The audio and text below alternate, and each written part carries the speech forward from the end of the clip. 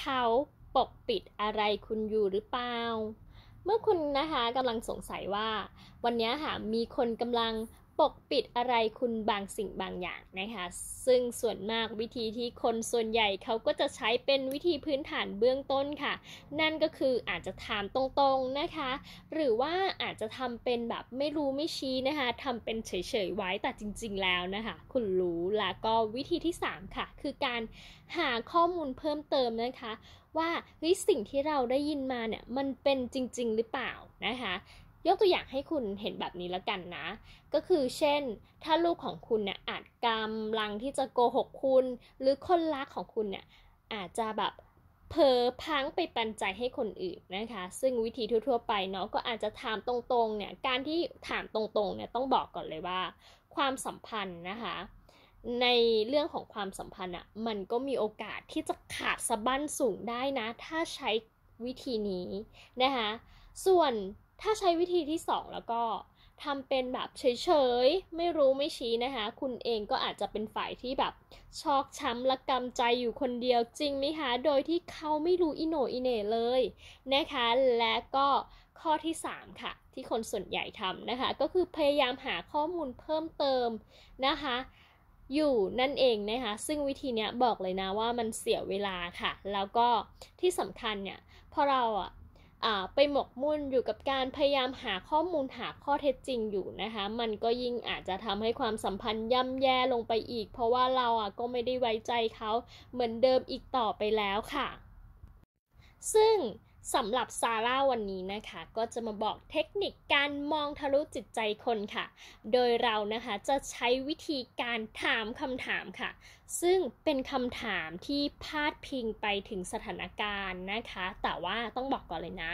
เราจะไม่ใช้คำพูดที่กล่าวโทษอีกฝ่ายเด็ดขาดนะคะ และหลังจากนั้นค่ะ เราก็แค่สังเกตปฏิกิริยานะคะ สังเกตพฤติกรรมค่ะ เราก็จะสามารถร่วงรู้ได้เลยค่ะ ว่าเขาเนี่ยปกปิดอะไรกับคุณ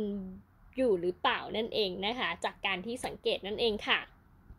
ซาร่ายกตัวอย่างให้คุณเห็นภาพแบบง่าย ๆ แบบนี้นะคะ สมมติค่ะว่าวันนี้ค่ะคุณสงสัย นะคะว่ามีพนักงานภายในออฟฟิศหรือภายในแผนกของคุณนะคะ ขโมยอุปกรณ์สำนักงานเนี่ยกลับไปใช้ที่บ้านหรือเปล่า คุณอาจจะใช้คำถามกับพนักงานของคุณนะคะว่าเออคุณพอจะช่วยอะไรบางอย่างกับฉันได้ไหมอ่า ฉันได้ยินมาว่าค่ะมีใครบางคนเนี่ยในบริษัทของเราเนี่ยแอบขโมยอุปกรณ์สำนักงานไปใช้ที่บ้านนะคะ คุณพอจะมีคำแนะนำไหมว่า เราควรจะหยุดพฤติกรรมแบบนี้ภายในบริษัทภายในองค์กรของเราได้อย่างไง ใช้คำถามประมาณนี้เลยนะคะ และหลังจากนั้นนะคะ คุณก็แค่สังเกตค่ะ แล้วก็รอดูพฤติกรรม คนที่เป็นผู้ต้องสงสัยในตอนนี้นะคะ ถ้าบุคคลที่คุณถามเนี่ยเขาดูสนใจแล้วก็ช่วยเราอะค่ะ แก้ปัญหานะคะ ก็ต้องบอกเลยว่าเขาย่อมที่จะไม่ได้แบบเป็นคนขโมยเนาะ มีโอกาสมีแนวโน้มสูงที่จะไม่ได้เป็นคนที่แบบว่าขโมยเอาอุปกรณ์ของบริษัทไปใช้ที่บ้านนะคะ แต่ว่าเมื่อไหร่ที่แต่ในทางกลับกันนะคะ สมมติว่า พนักงานคนที่เราถามอะค่ะเขาเริ่มที่จะแบบอึดอัดและพยายามเปลี่ยนเรื่องคุยกับเรานะคะ ก็ยอมที่จะมีแนวโน้มเนี่ยเป็นคนที่นำพาอุปกรณ์สำนักงานของเรากลับบ้านไปใช้นั่นเองนะคะ ซึ่งต้องบอกเลยนะว่าถ้าคุณใช้วิธีนี้ค่ะ คุณต้องเป็นคนที่ค่อนข้างที่จะมีความช่างสังเกตนิดนึงนะคะ อาจจะสังเกตจากสีหน้าท่าทาง ทัศนคติของคนคนนั้นนะคะ ก็คือต้องดูเนาะว่าเขาเนี่ยค่ะ วิตกกังวลแค่ไหนหรือว่ามีความที่แบบไม่มั่นใจยังไงบ้างซึ่งสรุปง่าย ๆเลยนะคะ ถ้าคนที่คุณถามเนี่ยเขาบริสุทธิ์ใจนะคะ เขาก็จะมีแนวโน้มที่จะให้คำแนะนำนะคะแล้วก็มีความพึงพอใจอย่างสูงเลยนะที่เราเนี่ยให้ความสำคัญกับเขา